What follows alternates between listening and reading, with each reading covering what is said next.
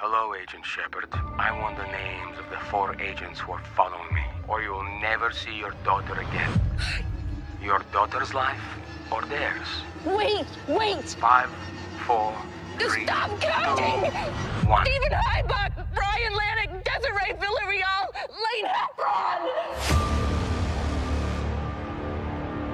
Erica Shepherd, you're under arrest for espionage and conspiracy against the United States of America. When the show opens up, it starts off three years after I arrest Erica Shepherd.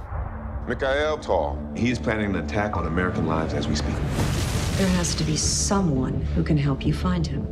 We need to bring in Erica Shepard. She was the best code breaker in the history of the CIA. Keaton's fiance was a casualty of Erica's choice to save her daughter. She sees the world differently, Will. She killed Lane. Did you forget that? I know what she took from you. She's the only chance we have to find the man responsible.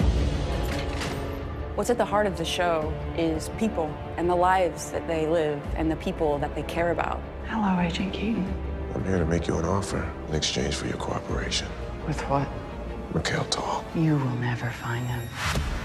Erica has a line in the pilot where she says, You have no idea what people are capable of. and that sort of says everything. If I have to work with the devil to catch Tal, I will. What I feel separates this show from many shows on TV is the heart and the emotion of the show. I made a choice to save my daughter. Then why didn't you say anything? Erica wants desperately to see her daughter, and Will is the gatekeeper. I want to fight every day to earn my way back into her life. It's hard not to erupt in volcanic tears from time to time, which is not something I think people are used to seeing in a show about spies. The end game is really hard to predict with this show because we're constantly being taken back to where we just can't escape what's happened to us. You can save this country, but you cannot do it without me.